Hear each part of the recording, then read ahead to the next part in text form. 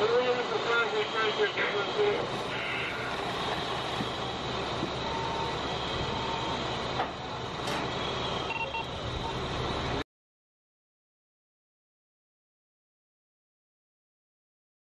your way down this. Okay.